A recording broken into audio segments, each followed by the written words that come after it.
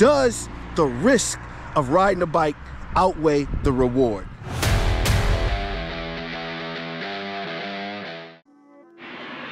What is up? Welcome back to the channel. Man, I got a great, great video for you. I'm not gonna waste any time getting started. The purpose of this channel is to always look out for my riders and put you guys in the best possible situations so you can succeed. Also, I can save you a little bit of money. So without further delay, man, let's get money. Yes, sir, definitely about to go ham on the video. A little bit of business first. If you guys like the content, don't forget to like, share, and subscribe. Hey, also, man, real important, don't forget to hit that notification bell so you can see when my next videos are uploading and ready to rock and roll.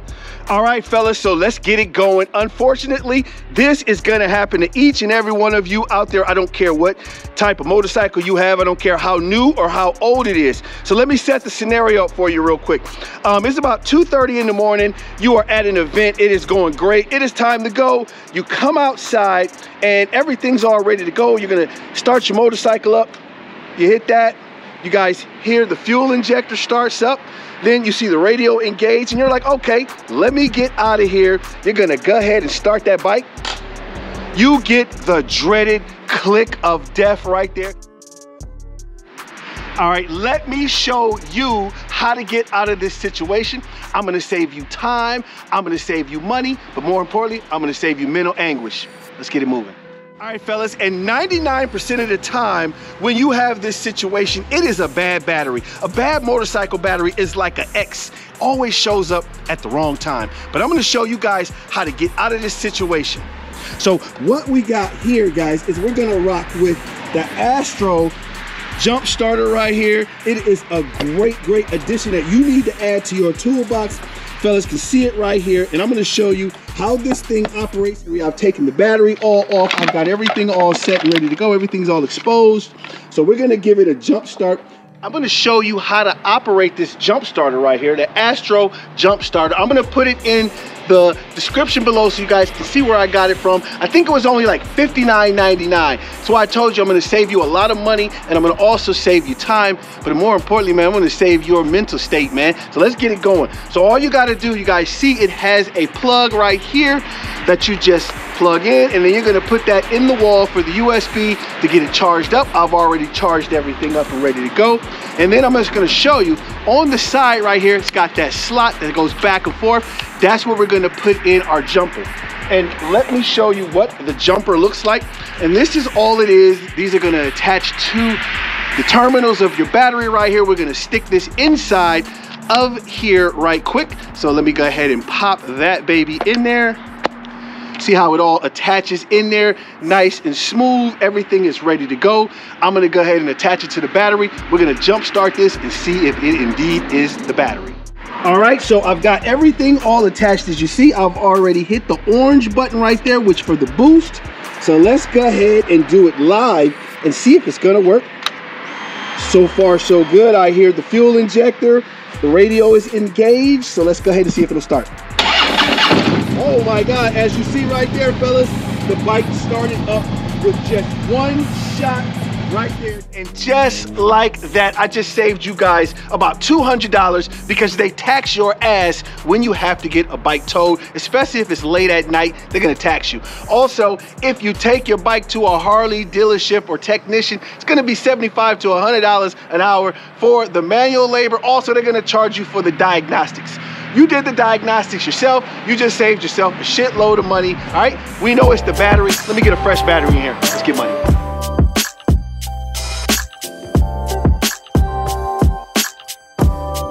We have got the battery in looking really, really good. Everything's all connected.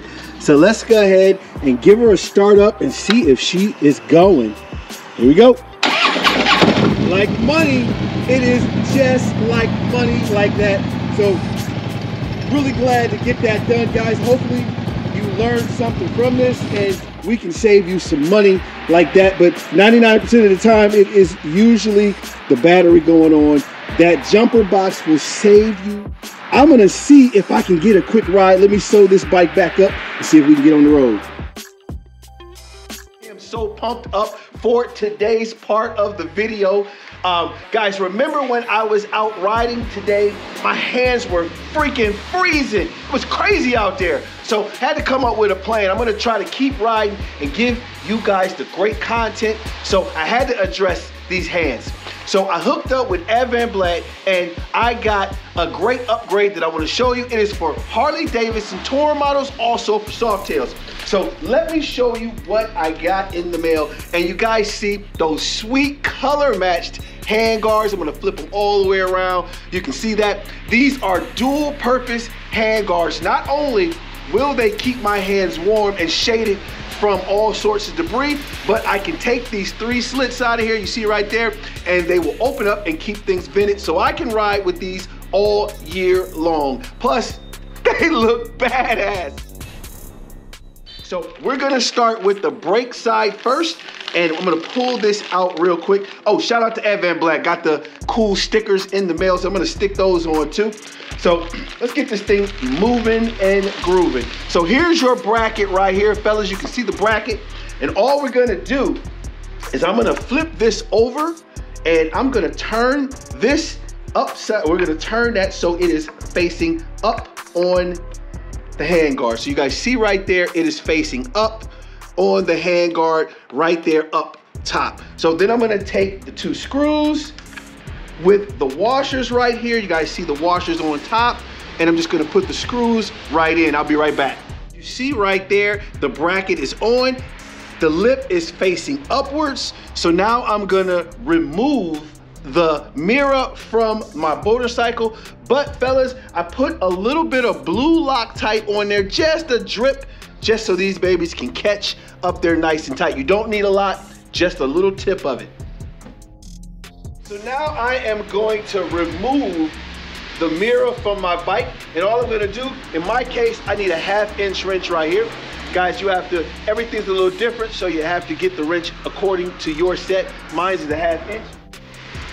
All right, so we are up close and personal on the bike. You guys see, I took the mirror off. So I'm gonna bring in the handguard and I'm gonna put that lip, and that's why we put that bracket and that lip is up I'm gonna put it right over the top of the mirror hole, right where it's at right there. You guys see how that fits right there? Easy fit in there. So now I'm gonna go ahead and grab my mirror and all I'm gonna do is shoot that mirror back through that hole. And you guys see it is starting to come to life already. Yes, sir, and I am in the home stretch right now. But what I'm doing, I've already ran the screw up, but not all the way up yet. I'm gonna make my quick adjustments. First, I'm gonna adjust my mirror accordingly to where it should be so I can see great. Then also, I'm gonna position and I'm gonna bow that out right there so that my hand, when I engage the brake, it does not interfere with the handguard.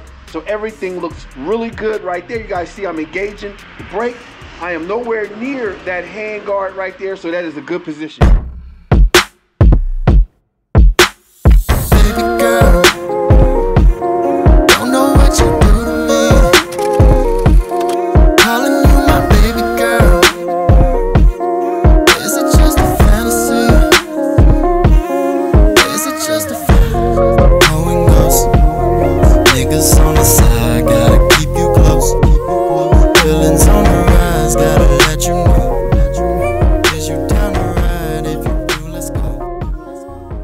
Ready to rumble right here. You see the lady in red, AKA the body snatcher. Guys, she is looking so crispy right now.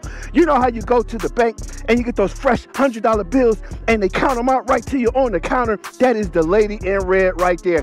Got to give a huge shout out to Advan Black for copping, letting me cop the great man color matched and you guys can see the color is absolutely perfect on there. And I am liking the black slits right there. Gives a nice little feel to it. Uh, one thing I'm really feeling fellas is you see the Klock Werks right there with the red logo and how that plays off the red and everything. It's just the little things that mean so much. It is a great day. It's about 32 degrees. I'm freezing. So what better time to see if these things work? Let's get out here. Let's get that money Let's get a cold start as we always do on the channel. Oh my God.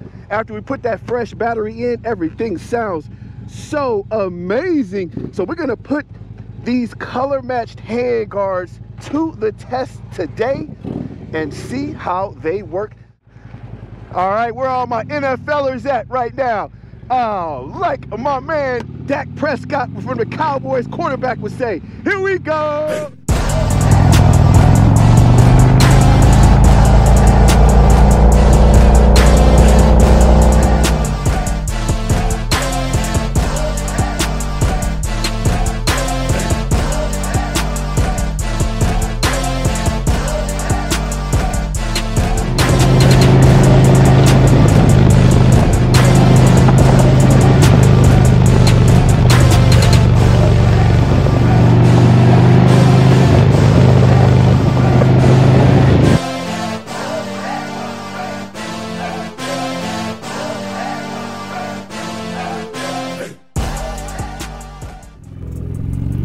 My God, I am enjoying the ride. I hope all of you out there in the land are loving it. The hand grips are so good. So far, I am feeling pretty good.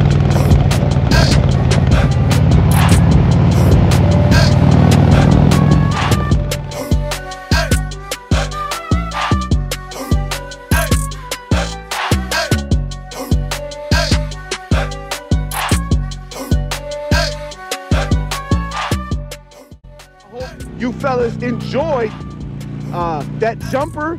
You guys definitely need to get that in your saddlebag. It will save your ass. Um, let me know in the comments below if you found that helpful. Now my hands are starting to actually get pretty cold right now. And it is not because of the guards. It is just because I've got on a thin set of gloves. Um, and it's pretty fucking cold out here. That's, that's really what it is. So the hand guards get an A plus from me if I had on insulated gloves like I was supposed to, I'd be fine. So I'm gonna have to do a quick pit stop. We're gonna change gloves, jump back on the road. All right, man, yes, sir, we're gonna hit the road back again. But before I do, we're gonna ask a question to all of you out there. We're gonna talk about it on the ride. Does the risk of riding a bike outweigh the reward? I am coming to you as always, live and direct. Oh, wait. It is time to get into the topic of the day. And I think it is a great topic to talk about. Uh, but first, I'm coming into a series curves, man. I'm about to open this baby up real quick. Let's get that. Sit back, relax, listen to that engine.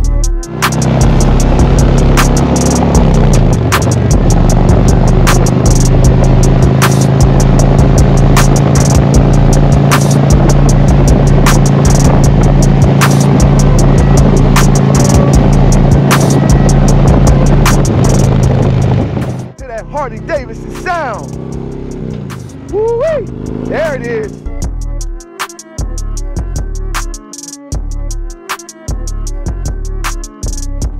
Does the reward of riding a bike outweigh the risk? All right, so let me set the table for you real quick. What I'm asking you fellas, and let me throw some facts out first. A huge majority of accidents that happen with bikers, it's not our fault. It is usually the motorist or whoever it is in the situation. That alone lets you know that there is over a 75% chance that something is going to happen to us and it is not going to be our fault. Another thing is that when something does happen the person who hits you is usually gonna walk up to you and say, oh my God, I'm sorry I just hit you, I didn't see you. Mind you, they're gonna walk up to you. You're gonna be laid out on the ground. Your bike is in shambles. Your health now is at risk. You don't know if you're gonna come back. You don't know what's broken. You don't know what's the long-term effect of your injuries. Your bike is gonna cost thousands of dollars you're going to have to deal with their insurance company because they're going to not try to pay you because of your injuries. They're going to try to lowball you and give you the worst that they can give you. Does the reward of riding a bike and getting out on the open road and being a wild, rebellious rider, does that outweigh the risk of somebody taking you out in like two seconds, man? I'm going to give you my take in a minute. But I'm gonna get some scenic motorcycle rides in real quick. You know that's what we're known for. Let's get money, man. Thank you.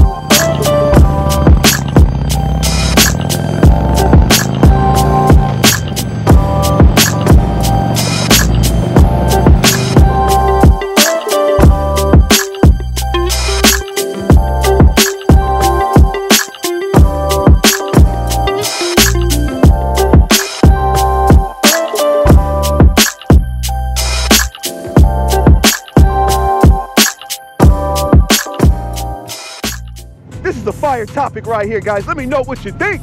But I'm about to give you my take on it. Now, I am a motorcyclist.